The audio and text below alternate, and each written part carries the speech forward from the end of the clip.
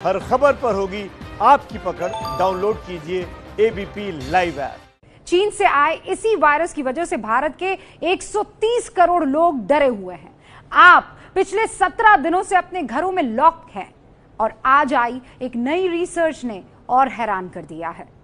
Research के मुताबिक जिन्हें सांस लेने में तकलीफ़ है, जिन्हें सांस की बीमारी है, उनमें कोरोना के संक्रमण का खतरा ज़्यादा बढ़ गया है। मार्च से पहले सांस की बीमारी वाले लोगों में कोरोना फैलने का खतरा शून्य था, लेकिन 2 अप्रैल से यह बढ़कर 2.6 प्रतिशत हो गया है।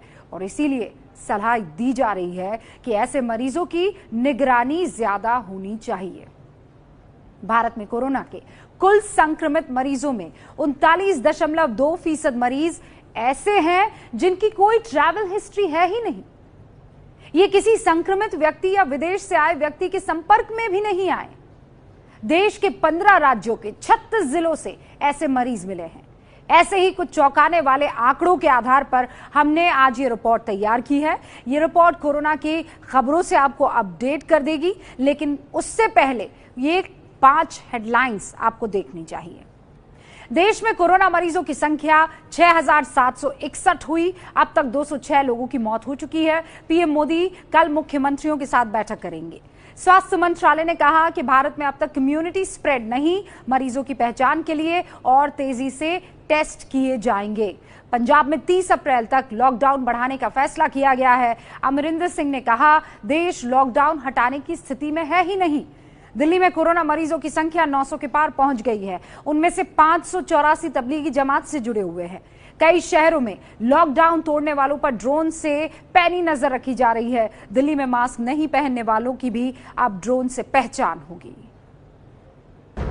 सोशल डिस्टेंसिंग बनाए रखें, लॉकडाउन का पूर्ण पालन करें।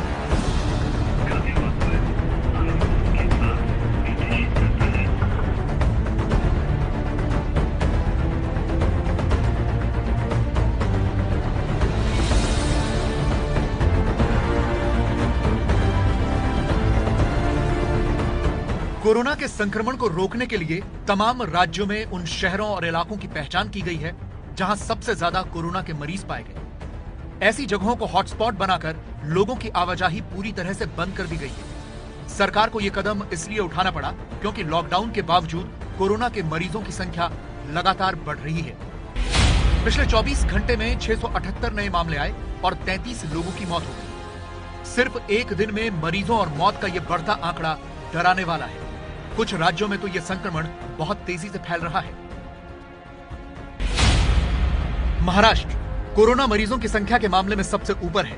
यहाँ कुल तेरह मरीज़ पाए जा चुके हैं और सत्तानवे की मौत हो चुकी है। दूसरे नंबर पर देश की राजधानी दिल्ली है, जहाँ आठ लोग कोरोना पॉजिटिव हो चुके हैं। यहाँ तेरह लोगों की मौत हुई है। तीसरे नंबर पर तमिलनाडु है, जहाँ कोरोना पॉजिटिव लोगों की संख्या आठ है और मरने वालों का आंकड़ा आठ है। चार सौ तिहत्तर मरीजों के साथ तेलंगाना चौथे नंबर पर है। यहाँ सात लोगों की मौत हुई। राजस्थान में चार कोरोना पॉजिटिव है। यूपी में कोरोना मरीजों की संख्या 431 और केरल में तीन सौ सत्तावन है।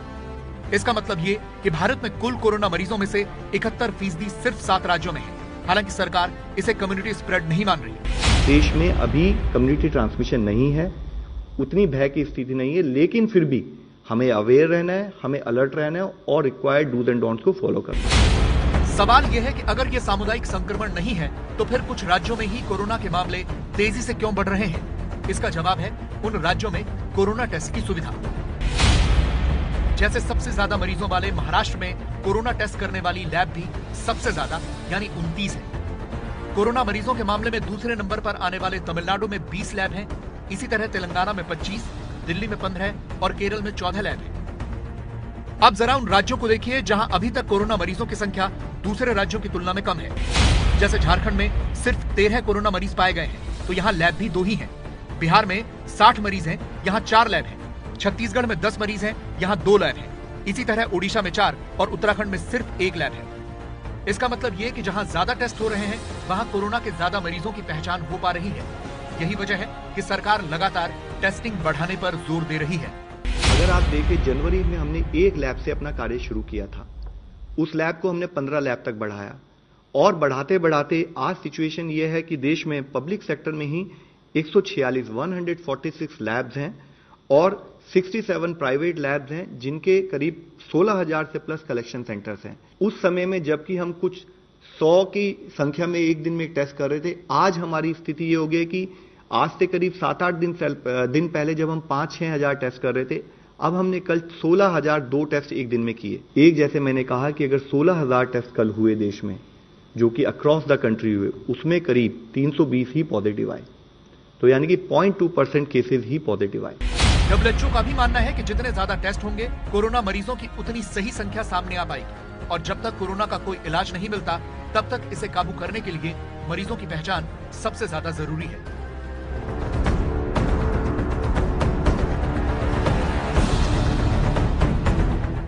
देखिए, कोरोना के खतरे के बीच कुछ अच्छी खबरें भी है। ऐसा नहीं है कि वो खबरें हम आप तक नहीं पहुंचाएँगे।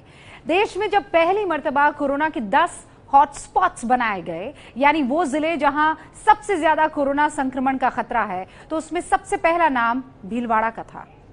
भीलवाड़ा के 27 केसेस में से दो मरीजों की मौत हो गई, जबकि बाकी 25 पूरी तरह से ठीक हो गए हैं। अगर कल भीलवाड़ा में एक नया केस नहीं आया होता तो भीलवाड़ा कोरोना मुक्त होता।